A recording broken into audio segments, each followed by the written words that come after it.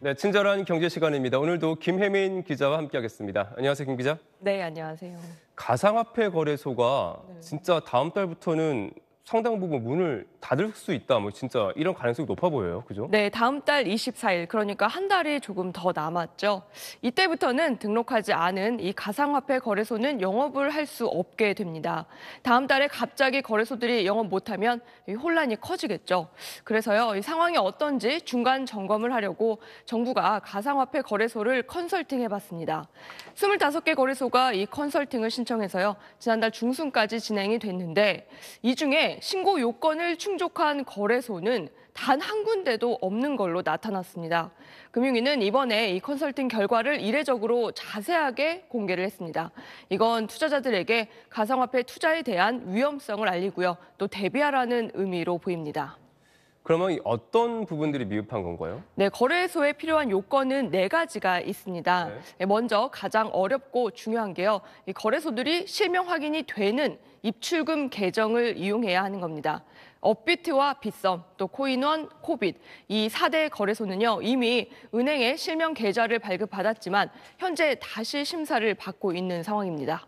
나머지 거래소들은 은행과 협의를 해서 이 실명 계좌를 발급받아야 하는데요. 금융사고가 나는 걸 우려하는 은행들이 여기에 매우 소극적인 태도를 보이고 있습니다. 그래서 이 요건을 갖춘 거래소는 현재로선 한 곳도 없습니다. 또 정보보호관리체계 인증을 획득해야 하는데요. 은행에 실명 계좌를 발급하지 못하고 이 인증만 갖고 있으면요. 거래소에서 이 원화 거래는 못하고 가상자산 거래를 지원하는 방식으로만 운영이 가능합니다. 이건요, 이 컨설팅을 받은 거래소 중에 19곳이 인증을 받았습니다. 그 다음으로 이 사업자가 벌금 이상의 형을 받았다면 형을 치르고 5년이 지나야 하는데요. 이건 경찰이 확인을 하고 있고요. 또 거래소가 이 직권 말소된 적이 있다면 이것도 말소되고 나서 5년을 초과해야 합니다. 근데 여기에 해당하는 거래소는 없었습니다. 이런 요건을 충족하지 못하는 거 말고도요. 또 다른 문제점들도 많이 발견됐다면서요? 네, 맞습니다. 거래소를 이 증권사와 비교했을 때 많은 문제점이 발견이 됐다고 합니다. 일부 거래소는 코인이 상장이나 폐지될 때 여기에 대한 규정 자체가 없거나 공개하지 않고 있었습니다. 그래서 최근에요 일부 거래소들이 갑자기 무더기로 코인 상장 폐지를 해서 투자자들이 피해를 입기도 했죠. 또 거래소에선 이 증권사의 공시와 유사한 백서라는 걸 투자자들이 볼 수가 있는데요. 여기에 이 조달 자금을 어떻게 운영하는지 같은 중요 사항이 누락이 돼 있었고요. 심지어 예치금과 코인을 고객과 거래소별로 구분, 을 하지 않고 다 같이 관리하는 거래소들도 있었습니다.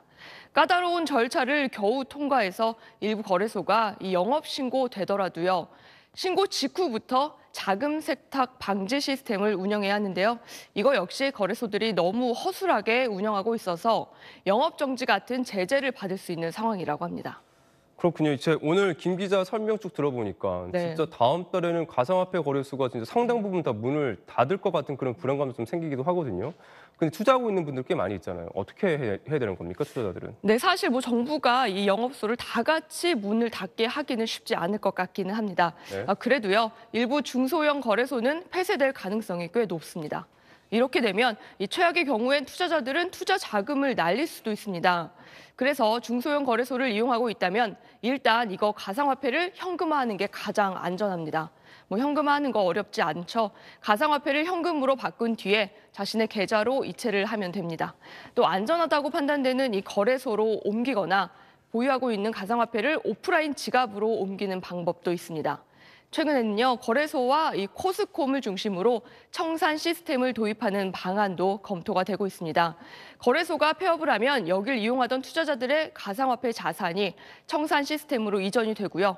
또 이후에 신고를 마친 거래소로 다시 옮길 수 있는 시스템입니다. 하지만 이건 업계가 논의를 시작한 초기 단계의 수준이고요. 보완 체계에 불과하기 때문에 이 시스템만 믿고 마음을 놓으시라고 말씀드리기는 좀 어렵습니다. 네, 가상화폐 투자하고 계시는 분들 피해 없도록 정말 대비 잘 하셔야겠습니다. 오늘도 잘 들었습니다. 고맙습니다.